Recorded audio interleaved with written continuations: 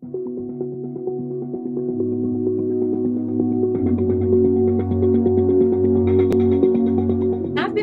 catalyst for change. I've been a catalyst for change. I'm a catalyst for change um, in diversity and equity because I create true, authentic relationships that are inclusive and welcoming.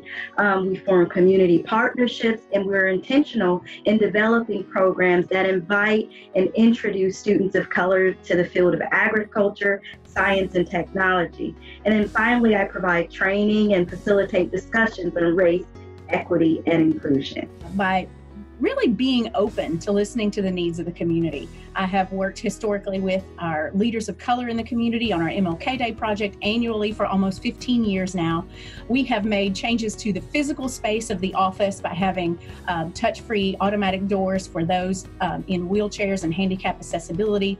We have had, uh, more recently, we had a signing Santa Claus as part of a holiday um, celebration here in Mercer County, as well as hosting interns and having special programs for those in the Hispanic community. So I think really just listening and being open to whatever the needs of the community are. We have served Congolese and Burmese refugees and have taught them how to prepare in season produce as well as prepare those in healthy meals. We've also taught them about proper food safety practices as well as how to use basic kitchen equipment which were new tools for many of them. One of the goals of the program was to help them feel empowered as they are new to our country.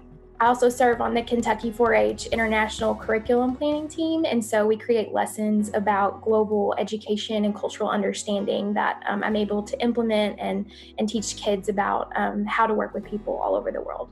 I try to treat people the way I would want to be treated.